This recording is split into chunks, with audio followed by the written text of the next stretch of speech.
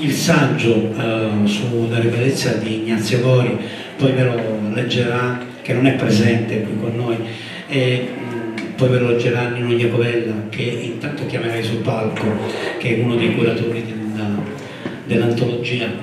E uh, le letture dedicate a, a Dario Bellezza eh, dovevano avvenire a, a cura di, di Lidia Rivello che anch'essa purtroppo non è riuscita a raggiungere Bologna eh, in tempo eh, quest'oggi. Però Lidia ha, ci ha mandato un piccolo testo eh, introduttivo perché in un certo qual modo ci teneva ad essere presente eh, quest'oggi. Se dalla regia mi aiutano in tal senso, ecco, io ve lo leggo molto semplicemente, io Dario Bellezza un phone.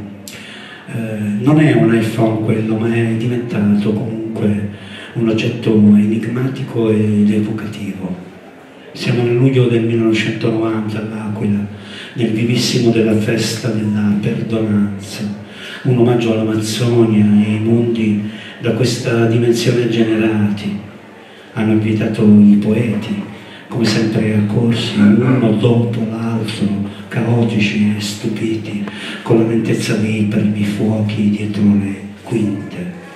Hanno invitato tanti poeti, e tra questi Vito Riviello, Corrado Costa, Valentino Zaica, Dario Bellezza. Dario mi è sempre piaciuto dal giorno in cui lo vidi entrare in un ristorante per le cene post-reading, mostrando un viso smarrito perché era rimasto vuoto solo il capotavola. Si guardò intorno e scelse di sedersi, facendosi minimo accanto a me, la bambina dei sette anni.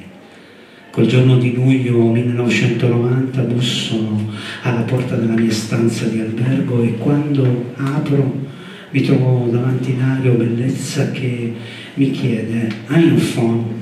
Te lo riporto, te lo prometto, subito, non posso stare con i capelli bagnati a lungo.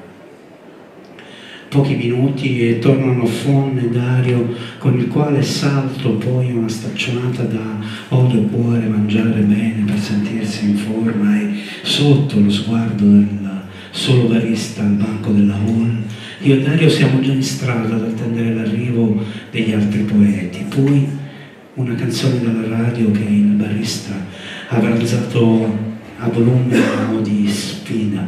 Eros Ramazzotti. Amarti è l'immenso per me. Ci passa davanti un tazio in gigiano. E io e Dario lo guardiamo seguendolo fino alla sua scomparsa visionaria e materica nella complicità di due amici che guardano natura come una festa di pochi minuti. Della sua ironica, screanzata, graffiata presenza sul palco, ricordo ogni istante. E mi piacevano in particolare quelli prima e dopo le letture, le aggiunte, le sottrazioni, gli equilibri infantili e le cadute nuragiche.